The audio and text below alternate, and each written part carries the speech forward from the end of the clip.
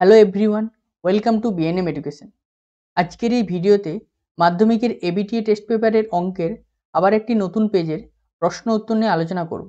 আজকে অঙ্কের একশো আট, একশো নয়, একশো দশ পেজের প্রশ্ন উত্তর নিয়ে আলোচনা করব। কাজেই তোমরা ভিডিওটি প্রথম থেকে শেষ পর্যন্ত দেখতে থাকো। ভিডিওটি ভালো লাগলে ভিডিওটি লাইক করো। চ্যানেলে যারা নতুন, চ্যানেলটি সাবস্ক্রাইব করো। তোমরা প্রত্যেকে বই আর খাতা খুলে বসো, আমি এক এক করে প্রশ্ন উত্তর আলোচনা করছি।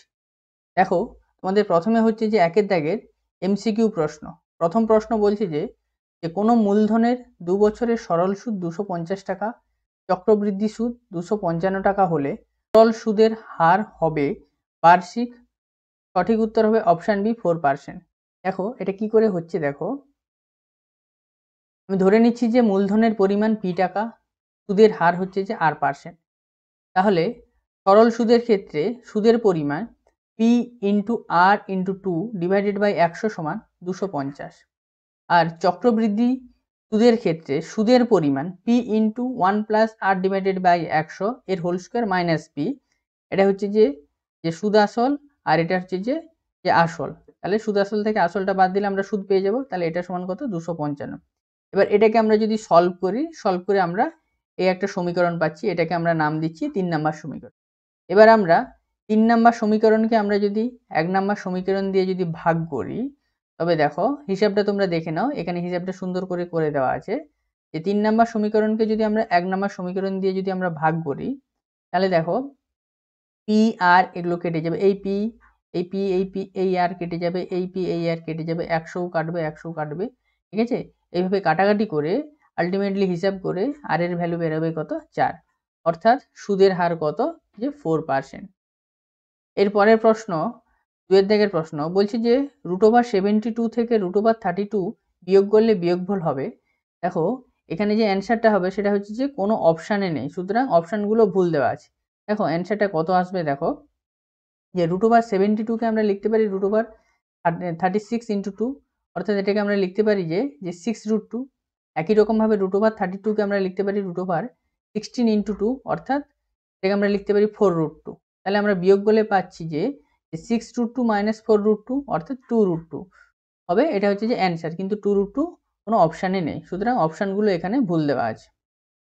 আচ্ছা এর পরের প্রশ্ন তিনের দাগের প্রশ্ন বলছে যে একটি বৃত্তে এ বি ও বিসি দুটি যে পরস্পরের ওপর লম্ব, বৃত্তটির ব্যাসার্ধ পাঁচ সেন্টিমিটার এবং এ বি সমান ছয় সেন্টিমিটার হলে বিসি এর দৈর্ঘ্য, সঠিক উত্তর হবে অপশানে আট সেন্টিমিটার।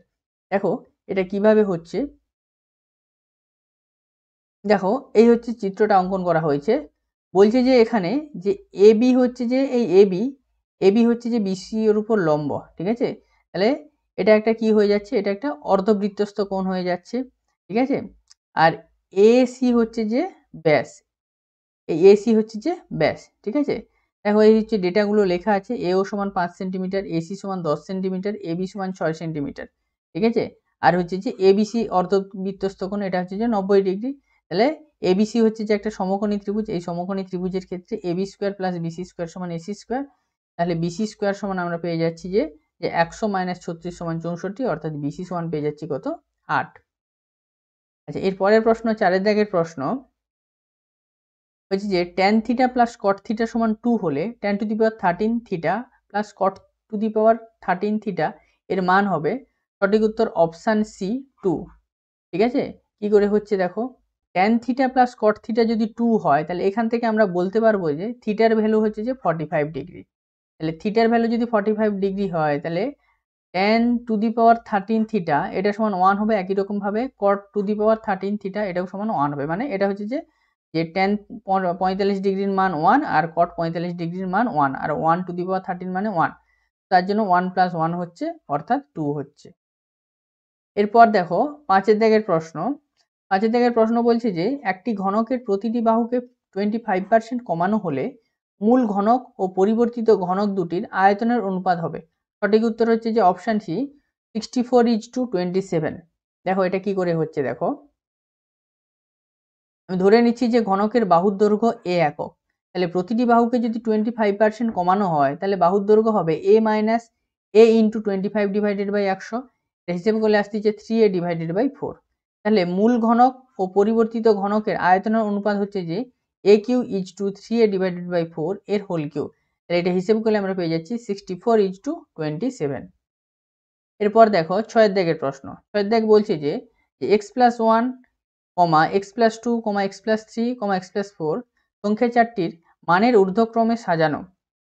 এদের মধ্যমা হচ্ছে যে টু পয়েন্ট ফাইভ হলে এক্সের মান, সঠিক উত্তর হচ্ছে যে অপশান এ জিরো দেখো, মধ্যমা, এখান থেকে এক্সের মান কি করে বেরোচ্ছে দেখো। যে এই সংখ্যামালা বলে দিয়েছে যে X plus one X plus two X plus three X plus four তাহলে এদের মধ্যমা আমরা কি করে নির্ণয় করব? দেখো, এর পদ সংখ্যা হচ্ছে যে জোড় সংখ্যক পদ সংখ্যা, অর্থাৎ পদ সংখ্যা চার। তাহলে এর পদ সংখ্যা যেহেতু জোড় সংখ্যক, অর্থাৎ পদ সংখ্যা চার হওয়ার জন্য এর হচ্ছে যে এই মাঝের দুটো পদ আমরা মধ্যমা নির্ণয়ের ক্ষেত্রে, এই মাঝের দুটো পদের আমরা গড় বের করব, তবেই সেটা হবে মধ্যমা তাহলে এক্স প্লাস গড় আমরা কি করে বের করব? X plus two plus X plus three divided by two তাহলে এটা সমান আমরা পেয়ে যাচ্ছি যে two X plus five divided by two এটাই হচ্ছে যে মধ্যমার মান। আর মধ্যমার মান বলে দিচ্ছে যে কত? টু পয়েন্ট ফাইভ তাহলে two X plus five divided by two সমান টু পয়েন্ট ফাইভ এখান থেকে আমরা পেয়ে যাচ্ছি কত? এক্স সমান জিরো এরপর দেখো তোমাদের শূন্যস্থান পূরণ দুয়ের দাগের। প্রথম প্রশ্ন বলছে যে, একটি ব্যবসায় এ ষোলো হাজার টাকা এক বছর ও বি চব্বিশ হাজার টাকা কিছু মাস খাটায়। ব্যবসায় লাভ তাদের মধ্যে সমানভাবে বন্টিত হলে বি এর টাকা খেটেছিল ড্যাশ মাস, উত্তর হবে আট মাস। আমি ধরে নিচ্ছি যে বি টাকা এক্স মাস খাটায়। তাহলে যেহেতু তাদের লাভ সমানভাবে বন্টিত হয়, তাই ষোলো হাজার ইন্টু টুয়েলভ এক বছরের জন্য সমান চব্বিশ হাজার ইন্টু এক্স এখান থেকে আমরা এক্স পেয়ে যাচ্ছি কত? এক্স সমান আট। এর পরের প্রশ্ন বলছে যে দুয়ের দেখে যে two X square minus three X plus K সমান জিরো এই সমীকরণটির বীজ বীজদ্বয়ের যোগফল ও গুণফল সমান হলে কে এর মান ড্যাশ এর মান হবে তিন। দেখো কে এর মান তিন আমরা কি করে পাচ্ছি? দেখো এই যে সমীকরণ two X square minus three X plus K সমান জিরো এক্ষেত্রে বীজদ্বয়ের যোগফল কী হবে? বীজদ্বয়ের যোগফল হবে minus minus of three by two অর্থাৎ থ্রি বাই টু আর বীজদ্বয়ের গুণফল কী হবে? কে বাই টু হচ্ছে, ঠিক আছে? আর কি বলেছে? এই বীজদ্বয়ের যোগফল গুণফল সমান, অর্থাৎ কে বাই টু সমান থ্রি বাই টু সেখান থেকে আমরা পেয়ে যাচ্ছি যে কে এর মান কত? তিন। এর পরের প্রশ্ন, তিনের দাগের, বলছে যে cos square alpha plus cos square beta সমান ওয়ান হলে আলফা প্লাস বিটা সমান ড্যাশ হবে নব্বই ডিগ্রি যে cos square alpha plus cos square bitter সমান ওয়ান তাহলে কস্কোয়ার আলফা সমান আমরা লিখতে পারি যে one minus cos square beta cos square বিটাকে পাশে নিয়ে চলে আসছি। এবার one minus cos square beta সমান সাইন স্কোয়ার বিটা এবার দেখো কস্কোয়ার আলফা সমান সাইন স্কোয়ার বিটাকে আমরা লিখতে পারি যে cos square ninety degree minus beta তাহলে এপাশেও কস স্কোয়ার এপাশেও কস স্কোয়ার তাহলে আমরা কি লিখব যে অতএব আলফা সমান নাইনটি ডিগ্রি মাইনাস বিটা অর্থাৎ আলফা প্লাস বিটা সমান কত? নাইনটি ডিগ্রি এরপর দেখো চারের জায়গার প্রশ্ন, বলছে যে, কোনো বৃত্তস্থ চতুর্ভুজের একটি কোণ নাইনটি ডিগ্রি হলে চতুর্ভুজটি একটি ড্যাশ হবে হবে আয়তক্ষেত্র। এরপরে প্রশ্ন পাঁচের দাগের একটি নিরেট গোলক ও একটি নিরেট শঙ্কুর ভূমির ব্যাসার্ধ সমান। শঙ্কুটির উচ্চতা গোলকটির ব্যাসার্ধের সমান হলে তাদের আয়তনের অনুপাত ড্যাশ হবে ফোর ইজ টু ওয়ান দেখো, আয়তনের অনুপাত কি করে ফোর ইজ টু ওয়ান বেরোচ্ছে, দেখো। এখানে ধরে নিচ্ছি যে নিরেট গোলকটির ব্যাসার্ধ হচ্ছে যে আর এবং নিরেট শঙ্কুটির ভূমির ব্যাসার্ধও আর, যেহেতু এ দুটো সমান বলে দিয়েছে। আবার কি বলেছে যে, শঙ্কুটির উচ্চতা হচ্ছে যে, এদের ব্যাসার্ধের সঙ্গে সমান, তাহলে শঙ্কুটির উচ্চতাও হচ্ছে যে আর তাহলে গোলক আর শঙ্কুর হচ্ছে যে আয়তনের অনুপাত কি হবে? চারের তিন pi R cube is to, একের তিন pi R square H H সমান আর তাহলে একের তিন পাই আর স্কোয়ার ইন্টু আর তাহলে এখান থেকে আমরা পেয়ে যাচ্ছি কত? Four is to one. ছয়ের দিকের প্রশ্ন বলছে যে, ষোলো কমা পনেরো কমা সতেরো কমা ষোলো কমা পনেরো কমা এক্স কমা উনিশ।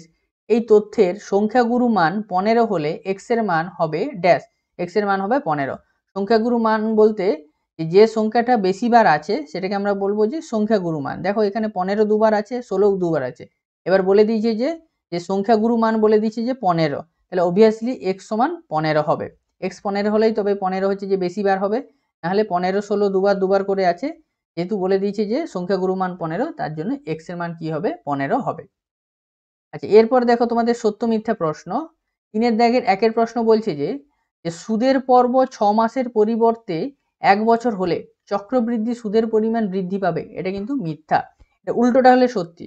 যে সুদের পর্ব এক বছরের পরিবর্তে ছ মাস হলে তাহলে সুদের পরিমাণ বৃদ্ধি পাবে।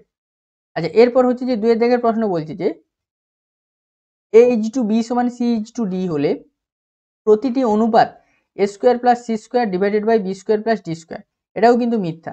দেখো, এটা কি করে মিথ্যা হচ্ছে দেখো?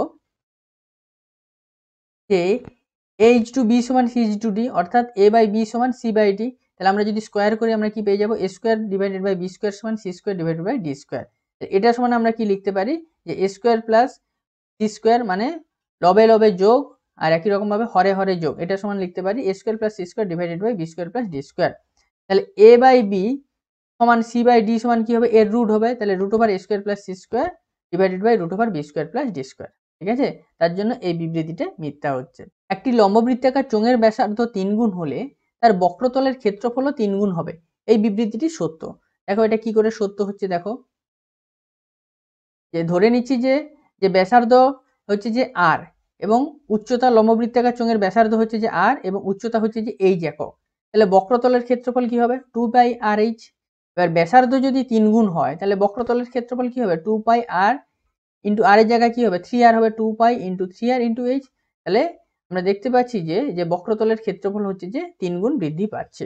তার জন্য বিবৃতিটি হচ্ছে যে সত্য।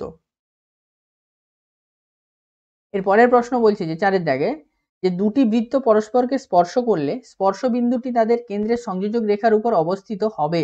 এটা হচ্ছে যে সত্য। এর পরের প্রশ্ন পাঁচের দাগের বলছে যে একটি ঘড়ির সরি একটি ঘূর্ণায়মান রশ্মি ঘড়ির কাঁটার অভিমুখে ঘুরলে ধনাত্মক কোণ উৎপন্ন হয়। এটা কিন্তু মিথ্যা। এটা হচ্ছে যে ঘড়ির কাঁটার অভিমুখে ঘুরলে ঋণাত্মক কোণ উৎপন্ন হয়। ঘড়ির কাঁটার বিপরীত দিকে ঘুরলে ধনাত্মক কোণ উৎপন্ন হয়। এরপর ছয়ের দাগের বলছে যে p comma p minus three এবং সেভেন সংখ্যা তিনটির গড় ছয় হলে পি এর মান পাঁচ হবে। এটা হচ্ছে যে মিথ্যা। তাহলে আমরা বের করে দেখব যে পি এর মান কত হচ্ছে। দেখো তিনটে সংখ্যা বলে দিচ্ছে যে পি পি মাইনাস থ্রি আর সেভেন তাহলে তিনটের গড় কি হবে? তিনটে যোগ করে তিনটে ভাগ। তাহলে তিনটে যোগ করে তিনটে ভাগ সমান, এটা সমান কত বলে দিচ্ছে ছয় বলে দিচ্ছে এখান থেকে পি এর মান বেরোচ্ছে কত? সাত বেরোচ্ছে তার জন্য বিবৃতিটা হচ্ছে যে মিথ্যা। আচ্ছা এরপর দেখো তোমাদের চারের দিকের প্রশ্ন। দু নাম্বার করে আছে। দেখো, প্রথম প্রশ্ন বলছে যে যে এক ব্যক্তি সরল সুদে কিছু টাকা ব্যাংকে রাখলেন বার্ষিক সুদের হার ওয়ান পার্সেন্ট কমে যাওয়ায় তার বার্ষিক প্রাপ্য সুদের পরিমাণ দুশো চল্লিশ টাকা কমে যায়। তিনি কত টাকা ব্যাংকে রেখেছিলেন? দেখো, অঙ্কটা কীভাবে করতে হচ্ছে দেখো। ধরে নিচ্ছি যে তিনি ব্যাংকে পি টাকা রেখেছিলেন। বার্ষিক সুদের হার হচ্ছে যে আর পার্সেন্ট ছিল। এবার পি টাকার আর পার্সেন্ট বার্ষিক সুদের হারে এক বছরের সুদ কত হবে? পি আর ডিভাইডেড বাই একশো। এবার সুদের হার যদি এক পার্সেন্ট যদি কমে যায়, তাহলে সুদের হার কত হবে? আর মাইনাস ওয়ান পার্সেন্ট তাহলে ওই পি টাকার আর মাইনাস ওয়ান পার্সেন্ট সুদের হারে এক বছরের সুদ কত হবে? P into R minus one divided by একশো। এবার আমরা শর্ত লাগাবো যে পি আর ডিভাইডেড বাই একশো minus P into R minus one divided by একশো, এটা সমান কত? দুশো চল্লিশ টাকা। এখান থেকে আমরা যদি হিসেব করি, পেয়ে যাচ্ছি কত? যে পি সমান চব্বিশ হাজার টাকা। অর্থাৎ তিনি ব্যাংকে চব্বিশ হাজার টাকা রেখেছিলেন। এরপর দেখো, চারের দাগের দুয়ের প্রবলেম বলছে যে, একটি অংশীদারি ব্যবসায় তিনজনের মূলধনের অনুপাত is to eight is to five এবং প্রথম ব্যক্তির লাভ, তৃতীয় ব্যক্তির লাভের থেকে ষাট টাকা কম হলে ব্যবসায় মোট মোট কত টাকা লাভ হয়েছিল তা নির্ণয় করো। দেখো, এই প্রবলেম কিন্তু এর আগের স্কুলে ছিল, সেখানেও সলভ করে দেখিয়েছি, এখানেও আমি সলভ করে দেখাবো। দেখো, আমি ধরে নিচ্ছি যে যে মোট লাভ হচ্ছে যে এক্স টাকা, তাহলে প্রথম ব্যক্তির লাভাংশ কত হবে? থ্রি এক্স ডিভাইডেড বাই ষোলো টাকা, তৃতীয় ব্যক্তির লাভাংশ কত হবে? ফাইভ এক্স ডিভাইডেড বাই ষোলো টাকা। এবার আমরা শর্তকে লাগাবো। যে ফাইভ এক্স ডিভাইডেড বাই ষোলো minus three X divided by ষোলো সমান ষাট এখান থেকে আমরা পেয়ে যাচ্ছি এক্স সমান চারশো আশি টাকা, অর্থাৎ ব্যবসায় মোট চারশো আশি টাকা লাভ হয়েছিল। এরপর দেখো, তিনের দাগের প্রবলেম কি বলছে? তিনের দাগের প্রবলেম বলছে যে, ভেদের অঙ্ক one by X plus one by Y এটা সমানুপাতি one by X plus Y হলে প্রমাণ করো যে X square plus Y square সমানুপাতি x Y বলে দিয়েছি যে one by X plus one by Y সমানুপাতি one by X plus Y তাহলে সমানুপাতি চিহ্ন তুলে আমাদের একটা ধ্রুবক পদ আনতে হবে। ধ্রুবক পদ নিয়ে এসেছি সমান চিহ্ন দিয়ে এবং এই ধ্রুবক পদ কী হবে? নট ইকুয়ালস টু জিরো হবে। দেখো এদিকেটা যোগ করে রেখেছি। তাহলে এখান থেকে আমরা সলভ করে পাচ্ছি যে এক্স প্লাস ওয়াই এর হোল স্কোয়ার মানে কে ইন্টু এক্স ওয়াই তারপরে এটা হচ্ছে যে আমরা এ প্লাস বি হোল স্কোয়ারের সূত্র লাগিয়েছি। এরপর দেখো আমরা পাচ্ছি X square plus Y square সমান K minus two into X into Y ঠিক আছে? এবার দেখো কে মাইনাস টুকে আমরা ধ্রুবক ধরে নিতে পারি। তাহলে X square plus Y square সমান এটাকে আমরা কে মাইনাস টুকে আমরা কে ওয়ান ধরে নিয়েছি। এটাও একটা ধ্রুবক পদ। তাহলে K one into x into y আর যেখানে কে ওয়ান হচ্ছে যে অবশ্যই নট ইকুয়ালস টু জিরো হবে। তাহলে অবভিয়াসলি এখান থেকে আমরা বলব যে x square plus y square সমানুপাতি x y এরপর দেখো তোমাদের চারের দাগের প্রবলেম চারের দাগের প্রবলেম কি বলছে? যে four x square plus m x plus twenty five সমান জিরো এই সমীকরণটিতে এম এর মান কত হলে সমীকরণটির বীজদ্বয় বাস্তব ও সমান হবে? এই হচ্ছে দ্বিঘাত সমীকরণ। এই দ্বিঘাত সমীকরণের বীজদ্বয় কখন বাস্তব আর সমান হয়? যখন b square minus four AC সমান জিরো হয়। তাহলে দেখো এই সমীকরণ থেকে আমরা b square minus four AC কত বেরিয়েছে? M square minus four into four into twenty five এট ইকালস টু জিরো বেরিয়েছে। এখান থেকে আমরা এম এর মান কত পেয়েছি? টোয়েন্টি অর্থাৎ এম এর মান টোয়েন্টি হলে এই সমীকরণের বীজদ্বয় বাস্তব আর সমান হবে। এরপর পরের প্রবলেম দেখো পাঁচের দাগের। বলছে যে, পাঁচ সেন্টিমিটার ব্যাসার্ধ বিশিষ্ট একটি বৃত্তের দুটি সমান্তরাল জ্যায়ের দৈর্ঘ্য যথাক্রমে আট সেন্টিমিটার ছ সেন্টিমিটার। জ্যা দুটির মধ্যে দূরত্ব নির্ণয় করো, যখন তারা কেন্দ্রের দুই বিপরীত দিকে থাকে। দেখো অঙ্কটা কীভাবে হচ্ছে। এই হচ্ছে চিত্র। দেখো এবি আর সিডি হচ্ছে যে দুটি যে এবি বলে দিচ্ছে ছ সেন্টিমিটার সিডি বলে দিচ্ছে কত? আট সেন্টিমিটার। ঠিক আছে? তাহলে এর যে কেন্দ্রগামী যে রেখা, সেটা হচ্ছে যে এই জ্যাকে কি করবে? এই দুটো জ্যাকে হচ্ছে যে যে লম্বভাবে সমদ্বিখণ্ডিত করবে, ঠিক আছে? অর্থাৎ এম যে, এম হবে, এম সমান কি হবে? এই এম সমান বিএম হবে এবং এটা কার সঙ্গে সমান হবে? যে ছয় ডিভাইডেড বাই টু তিন সেন্টিমিটারের সমান হবে। একই রকমভাবে সিএন সমান ডিএন হবে, সেটা কত হবে? চার সেন্টিমিটার হবে। আবার বৃত্তের ব্যাসার্ধ ও ও, এ আর বৃত্তের ব্যাসার্ধ ও, সি, এটা কত? পাঁচ সেন্টিমিটার বলে দিচ্ছে তাহলে দেখো, আমরা যদি ত্রিভুজ এ ও এম যদি দেখি, তাহলে এই ত্রিভুজের ও ও এম স্কোয়ার সমান আমরা পেয়ে যাব যে O A square minus A M square তাহলে এখান থেকে আমরা পেয়ে যাব যে ও এম সমান কত? চার সেন্টিমিটার একই রকমভাবে আমরা যদি ত্রিভুজ সিএন যদি দেখি, সেটাও একটা সমকোণী ত্রিভুজ হবে। সিএন এর ক্ষেত্রে যে ও এন স্কোয়ার সমান হবে যে ও সি স্কোয়ার ডিভাই মাইনাস সিএন স্কোয়ার তাহলে এখান থেকে আমরা পেয়ে যাব যে ও এন সমান কত? তিন সেন্টিমিটার অর্থাৎ এম এন সমান আমরা পেয়ে যাব যে MO plus O O N অর্থাৎ চার প্লাস তিন। ছয় জায়গায় প্রবলেম বলছে যে এবিসিডি বৃত্তস্থ চতুর্ভুজের এবি বাহুকে ই পর্যন্ত বর্ধিত করা হলো। কোন সিবিই সমান আশি ডিগ্রি এবং কোন বিডিসি সমান পঁয়ত্রিশ ডিগ্রি হলে কোন এসিবি এর মান নির্ণয় করতে বলা হয়েছে। দেখো, এই হচ্ছে চিত্র। যে এবিসিডি বৃত্তস্থ চতুর্ভুজের বলে দিচ্ছে যে যে সিবিই এটা বলে দিচ্ছে যে আশি ডিগ্রি, তবে এডিসি এটাও কত হবে? আশি ডিগ্রি হবে। কারণ এটা হচ্ছে যে একশো ডিগ্রি হবে। ঠিক আছে? আর হচ্ছে যে এই দুটো বিপরীত কোণের সমষ্টি যদি একশো আশি ডিগ্রি হয়, তাহলে এটা একশো হলে এটা অবশ্যই কি হবে? যে আশি ডিগ্রি হবে, ঠিক আছে? তাহলে এই পুরোটা যদি আশি ডিগ্রি হয়, তাহলে এটা হচ্ছে যে পঁয়ত্রিশ ডিগ্রি। এইটুকুটা পঁয়ত্রিশ ডিগ্রি, তাহলে এইটুকুটা কত হবে? অর্থাৎ কোন এডিবি কোন এডিবি কত হবে? আশি ডিগ্রি মাইনাস পঁয়ত্রিশ ডিগ্রি সমান কত হবে? পঁয়তাল্লিশ ডিগ্রি। তাহলে কোন এডিবি দেখো কোন এডিবি এই যে কোনটা এটা কত হবে? পঁয়তাল্লিশ ডিগ্রি। আমাদের বের করতে বলেছে এসিবি এই কোনটা বের করতে বলেছে। দেখো কোন এডিবি ভালো করে লক্ষ্য করো। এডিবি কোন আর হচ্ছে যে এসিবি কোন এটা হচ্ছে যে এ বি চাপের উপর অবস্থিত দুটো বৃত্তস্থ কোণ। একই চাপের উপর আমরা জানি যে বৃত্তস্থ কোণ কি হয়? সমান হয়। সেখান থেকে আমরা কি বলব? যে কোন এসিবি এর মান হচ্ছে যে পঁয়তাল্লিশ ডিগ্রি। এরপর দেখো সাতে দাগের প্রবলেম দেখো। সাতে দাগের প্রবলেম কি বলছে? যে সমকেন্দ্রীয় দুটি বৃত্তের ব্যাসার্ধ যথাক্রমে আট সেন্টিমিটার ও দশ সেন্টিমিটার। বহিবৃত্তটির যে জ্যা অন্তবৃত্তটিকে স্পর্শ করে, তার দৈর্ঘ্য নির্ণয় করো। দেখো, এই হচ্ছে চিত্র। ও হচ্ছে যে সমকেন্দ্রীয় দুটি বৃত্তের ব্যাসার্ধ। আর হচ্ছে যে ও এ সমান বলে দিচ্ছি যে আট সেন্টিমিটার, আর ও বি সমান হচ্ছে যে কত? দশ সেন্টিমিটার। এবার সিডি হলো একটা জ্যা, এই হচ্ছে সিডি হচ্ছে যে জ্যা, যা হচ্ছে যে অন্তর্বৃত্তকে হচ্ছে যে এ বিন্দুতে স্পর্শ করে, এই এ বিন্দুতে হচ্ছে যে স্পর্শ করছে। এবার দেখো যে তাহলে ও এ হচ্ছে যে যে সিডি জ্যাকে এ বিন্দুতে লম্বভাবে সমদ্বিখণ্ডিত করবে। তাহলে অতএব ও সি স্কোয়ার সমান O A square plus AC square হবে। তাহলে সেখান থেকে আমরা কি পাবো? যে এসি স্কোয়ার সমান O C square minus O square এবার ওসি সমান আমরা জানি যে দশ, আর ও এ সমান আমরা জানি আট, তাহলে এখান থেকে আমরা পেয়ে যাচ্ছি যে এসি স্কোয়ার সমান ছত্রিশ, তাহলে এসি সমান আমরা কি পেয়ে যাব? যে ছয় সেন্টিমিটার, অর্থাৎ সিডি সমান আমরা কি পেয়ে যাব? দুই গুণিতক ছয় সমান কত? বারো সেন্টিমিটার। এরপর দেখো তোমাদের আটের দাগের প্রবলেম আটের দাগের প্রবলেম কি বলছে? যে দুটি কোণের সমষ্টি একশো পঁয়ত্রিশ ডিগ্রি এবং তাদের অন্তর হচ্ছে যে পাই বাই বারো। হলে কোন দুটির ষষ্ঠিক ও বৃত্তীয় মান নির্ণয় করো। আমি ধরে নিচ্ছি যে যে দুটি কোণ হচ্ছে যে এক্স আর y x degree y degree. তাহলে x degree plus y degree সমান একশো পঁয়ত্রিশ আর x degree minus y degree সমান পাই বাই বারো। ঠিক আছে? এবার পাই বাই বারোকে আমরা যদি ডিগ্রিতে কনভার্ট করি, তাহলে কত হবে? পনেরো ডিগ্রি। এবার এই দুটোকে আমরা যদি সলভ করি, তাহলে এক্স ওয়ান পেয়ে যাচ্ছি কত? পঁচাত্তর ডিগ্রি এবার এই পঁচাত্তর ডিগ্রিকে আমরা যদি রেডিয়ানে প্রকাশ করি, তাহলে কি পাবো আমরা? যে পঁচাত্তর গুণিতক পাই বাই একশো আশি করতে হবে, তাহলে আমরা পেয়ে যাচ্ছি যে যে five pi divided by twelve এত রেডিয়ান একই রকমভাবে আমরা ওয়াইয়ের মান পেয়ে যাব। ওয়াইয়ের মান কত পাবো? ওয়াইয়ের মান হচ্ছে যে সিক্সটি ডিগ্রি সমাধান করে। এবার এই সিক্সটি ডিগ্রিকে আমরা যদি রেডিয়ানে প্রকাশ করি, তাহলে আমরা পেয়ে যাব কত? পাই বাই থ্রি এত রেডিয়ান তাহলে কোন দুটির হচ্ছে যে ষষ্ঠিক মান হবে? পঁচাত্তর ডিগ্রি আর ষাট ডিগ্রি আর বৃত্তীয় মান হবে five by divided by twelve radian এবং পাই বাই থ্রি রেডিয়ান এরপর দেখো তোমাদের নয়ের দাগের প্রবলেম নয়ের দাগের প্রবলেম কি বলছে? যে এক্স সাইন থিটা সমান পি এবং ওয়াই সমান বলে দিয়েছে যে কিউ কট থিটা হলে x square divided by p square minus y square divided by q square এর মান নির্ণয় করো। এক্স সাইন থিটা সমান পি তাহলে এক্স ডিভাইডেড বাই পি সমান ওয়ান বাই সাইন থিটা সেখান থেকে এটা সমান আমরা কি লিখব? কোশেক থিটা একই রকমভাবে ওয়াই সমান কিউ কট থিটা তাহলে ওয়াই বাই কিউ সমান কট থিটা এবার দুটোকে আমরা যদি বর্গ করে একটা থেকে অপরটা যদি বাদ দিই, তাহলে আমরা পেয়ে যাচ্ছি যে x square divided by p square minus y square divided by q square সমান cosec square theta minus cot square theta আর আমরা জানি যে এটা সমান কি?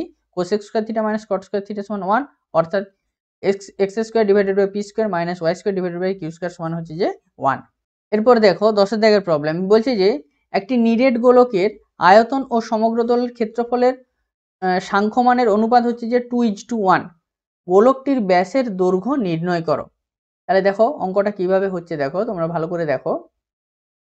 যে ধরে নিচ্ছি যে গোলকটির ব্যাসার্ধ হচ্ছে যে আর একক। তাহলে গোলকটির আয়তন আর গোলকটির হচ্ছে যে ক্ষেত্রফল, পৃষ্ঠতলের যে ক্ষেত্রফল, তাদের অনুপাত হচ্ছে যে টু ইজ টু ওয়ান তাহলে চারের তিন pi r cube is to four pi r square সমান টু ইজ টু ওয়ান এখান থেকে আমরা সলভ করে আর এর ভ্যালু পেয়ে যাচ্ছি কত? ছয়। তাহলে ব্যাসের দৈর্ঘ্য হবে ছয় গুণিতক দুই। অর্থাৎ বারো একক। এরপর দেখো তোমাদের এগারো দাগের প্রবলেম এগারো দাগের প্রবলেম কি বলছে? যে ওয়ান পয়েন্ট ফোর ডেসিমিটার বাহু বিশিষ্ট একটি নিরেট ধাতব ঘনক গলিয়ে সাত সেন্টিমিটার ভূমির ব্যাসার্ধ বিশিষ্ট একটি লম্ব, লম্ববৃত্তাকার নিরেট চোং তৈরি করা হলো। চোংটির উচ্চতা নির্ণয় করো। দেখো, এটা কি করে করতে হচ্ছে দেখো প্রবলেমটা দেখো ভালো করে।